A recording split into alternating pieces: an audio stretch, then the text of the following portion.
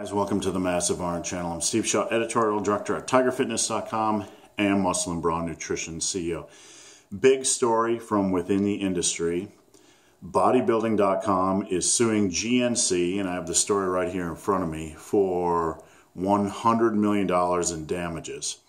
Um, basically, GNC is selling Jym, the Jym line from Jim Stoppani and bodybuilding.com is claiming, claiming um, ownership of it. And it appears to me um, as you know someone who is an outsider of this at bodybuilding.com obviously manufactures this has the rights to this.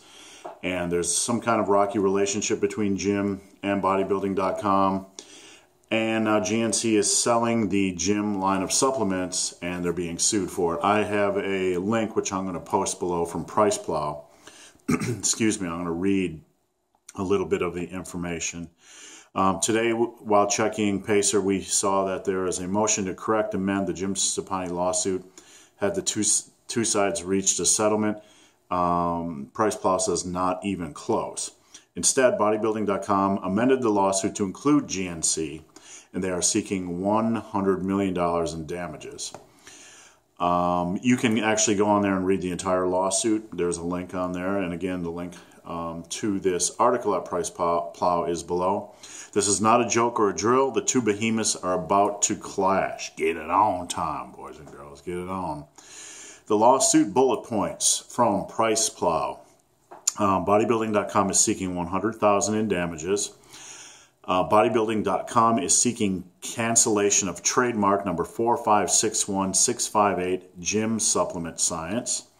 Bodybuilding.com has named does 1 to 100. There are John Does to be named in the future. And we assume they are reserved for any individual franchises or stores who dare sell any gym products.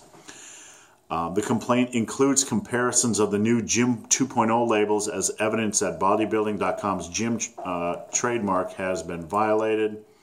And bodybuilding.com's lawyers caught Jim Stoppani using his website to state that his products won the bodybuilding.com award of excellence, but now show the new Jym, GNC Jym 2 pictures, new products that never won any such awards, a major conflict of interest.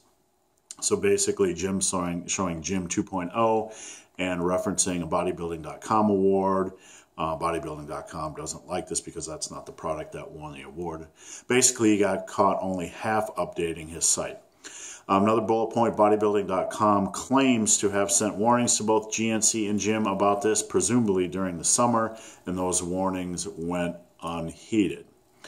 Uh, due to the third point, which is. Um, the third point is the John Does that are left blank in the lawsuit.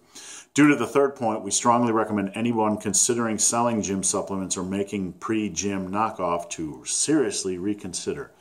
Hashtag no shit. Uh, bodybuilding.com is clearly not in a joking mood today. And then PricePlow goes on to say, Will this settle? In a video posted on September 21st, Mike stated that he believes this will settle, blah, blah, blah, blah. I believe it'll settle too. Look, um, these are big boys. They're not going to waste years and years in the court or whatever the heck this lawsuit's going to take, months and months. They're going to settle, in my opinion. So look for an update on that reasonably soon. As soon as the lawyers get together with a lot of coffee in a big room and come to an agreement. So again, bodybuilding.com is suing GNC for $100 million. They've left it open-ended. Uh, anybody suing the Jym line of products is going to get sued as well. So the big boys, the big boys are after each other's throat.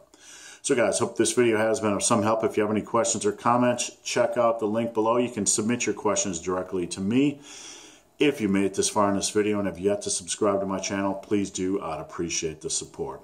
So guys, as always, thanks for watching. Have a great day.